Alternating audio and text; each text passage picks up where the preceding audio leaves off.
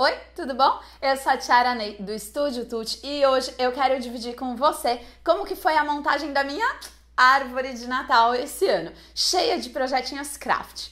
A gente acabou de voltar da Disney e a verdade é que quando a gente volta de lá, dá vontade de ter a casa do Mickey, ter Mickey em tudo quanto é lugar, colocar Mickey em tudo. E a gente aproveitou esse momento, árvore de Natal, exatamente para dar asas à imaginação e encher de orelhinhas. Se você quer ver como ficou e também como que eu fiz cada um dos enfeites Disney, já dá um like aqui embaixo, se inscreve no canal e me encontra depois da vinheta.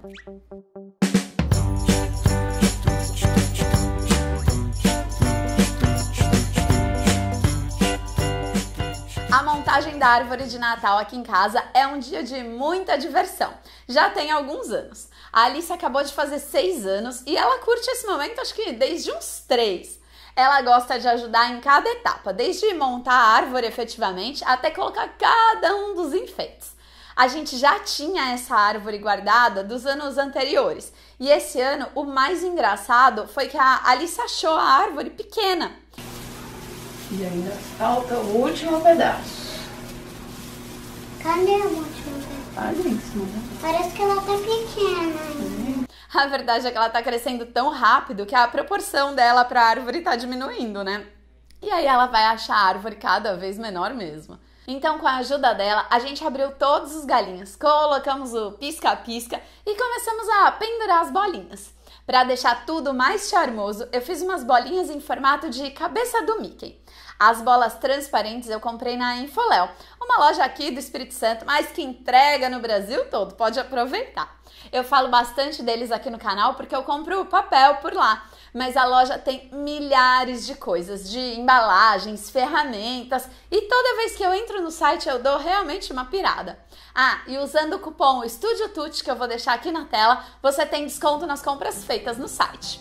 Para personalizar a bolinha, eu desenhei o formato da cabeça do Mickey em um papel Color Plus vermelho, usando a bolinha aberta mesmo como molde.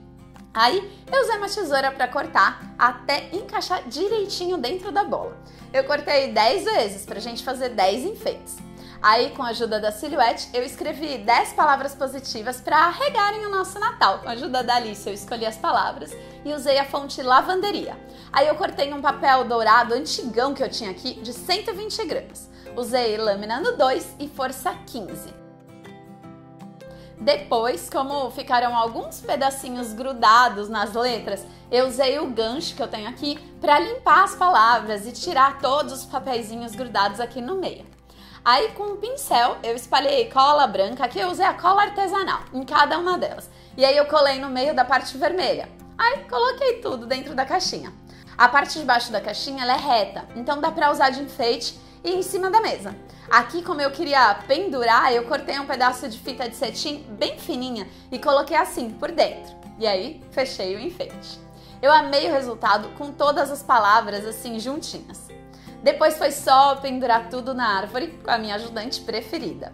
Lá na Infoléu, além das caixinhas acrílicas, eu encomendei também uns apliques de acrílico espelhado. Eles têm algumas peças disponíveis no site, alguns formatos, mas eles fazem com o formato e na medida que você quiser por encomenda. Eu encomendei 15 Mickeys maiores e 15 bem pequenininhos. Os maiores eu fiz um enfeite usando uma fita dourada roliça que eu também já tinha aqui e eu colei tudo usando cola quente. Aproveitei aqui para estrear a minha pistola nova que eu comprei na Michaels. Aliás, se você não viu o vlog sobre as minhas compras na Michaels, ó, tá perdendo. Eu vou deixar aqui em cima nos cards para você correr lá para ver. Aqui no enfeite, primeiro eu colei a fita de um lado, aí eu enchi de cola quente e colei outro aplique por cima. Aí foi só pressionar bem para virar um enfeite, frente e verso. Já os apliques pequenininhos eu usei para dar charme aos lacinhos vermelhos que eu já tinha dos enfeites do ano passado. Foi só passar uma gotinha de cola quente e pressionar o aplique aqui em cima. Ficou lindo, né? Para finalizar, a gente pegou uma coleção de Baby Princess que a Alice comprou lá em Orlando. E aqui, ó, uma coisa legal de contar é que a Alice, ela juntou moedas para ir para Disney por mais de três anos. Ela nem falava direito e já procurava moeda de um real pela casa para colocar no porquinho dela. E aí, ao todo, ela juntou 370 reais. Então a gente trocou e deu 100 dólares para ela gastar lá.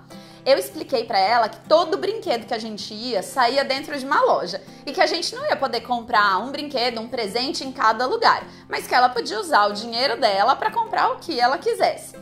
E foi incrível ver ela controlando o quanto de dinheiro que tinha ainda, se valia ou não a pena comprar alguma coisa em cada uma das lojas, em cada um dos brinquedos. E no fim, ela voltou para casa ainda com 14 dólares. E uma das coisas que ela comprou com o dinheiro dela foi esse kit com 11 Baby Princes super fofas. E aí eu usei um fio de nylon para amarrar e pendurar cada uma das bonequinhas na árvore. Para mim deu um colorido e um charme todo especial. Para finalizar, a Alice colocou a estrela no topo, que deu um pouco de trabalho para ficar em pé retinha, porque ela é muito pesada, mas no fim deu tudo certo.